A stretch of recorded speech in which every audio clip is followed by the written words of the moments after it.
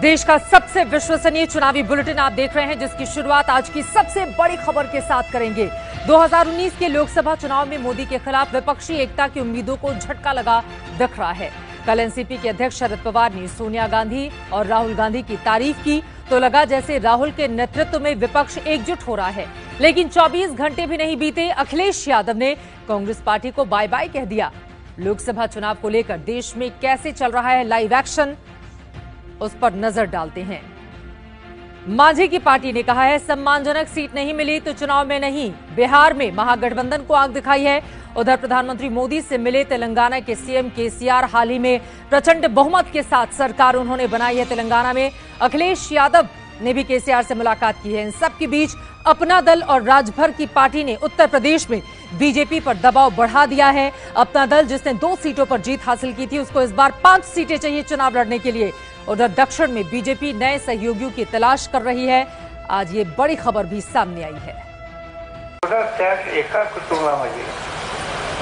इंदिरा गांधींची हत्या, राजीव गांधींची हत्या, या दोन हत्या झाल्याच्या नंतर सुद्धा देशाच्या गरीब माणसाचं उरण हे आम्ही चालू ठेवणार.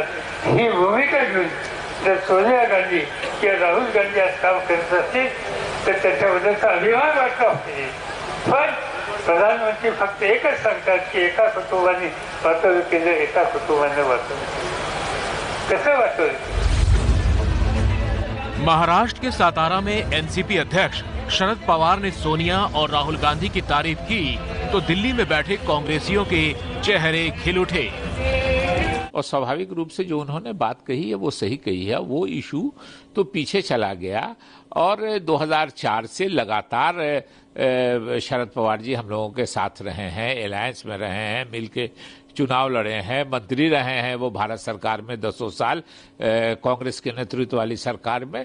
तो वो पुरानी बात थी जो खत्म हुई और हृदय परिवर्तन अभी नहीं पहले ही उन्होंने बहुत साफ़ कर दिया था सोनिया जी का नेतृत्व माना वो यूपीए की चेयरपर्सन है तो स्वाभाविक रूप से वो बीती बात बिसारिए आगे की सुध ले। शकील अहमद के अलावा इसी साल एनसीपी छोड़कर कांग्रेस में शामिल हुए तारिक अनवर भी पवार के बयान की अब तारीफ़ कर रहे हैं। अगर एनसीपी और पवार साहब ने इस बात को स्वीकार किया है कि कांग्रेस का नेतृत्व चाहे वो सोनिया जी हों या राहुल जी हों वो आ, सही है देश हित में है राष्ट्रीय हित में है। तो मैं समझता हूँ कि अब आ, पुरानी बातों को याद रखना कोई ज़रूरी नहीं है। तारिक अनवर उन तीन नेताओं में से एक हैं जिन्होंने सोनिया के विदेशी मूल का मुद्दा उठाकर 1999 में कांग्रेस छोड़कर एनसीपी का गठन किया था।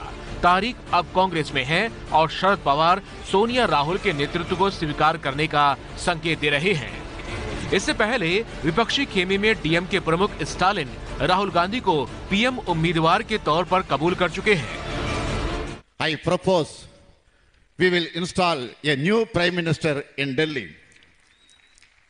We build a new India as a son of the Talaivar Kalangar. I propose the candidature of Rahul Gandhi from Tamil Nadu. Welcome, Rahul Gandhi. Give the nation good governance.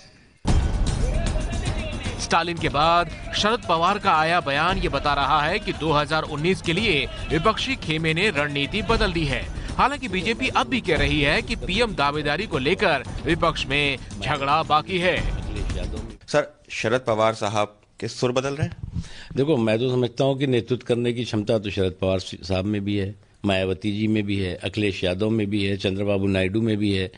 लेकिन ये तो तय करें कि इनका नेतृत्व कौन इनका नेतृत्व कौन करेगा?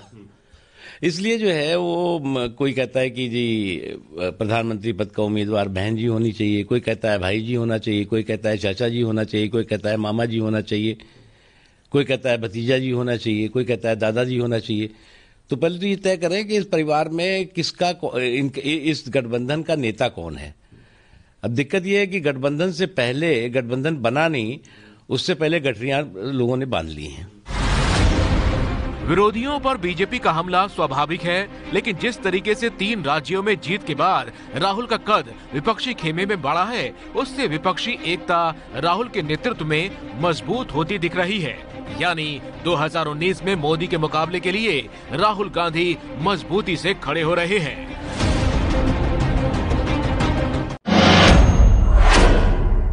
ये है एबीपी न्यूज़ आपको रखे आगे।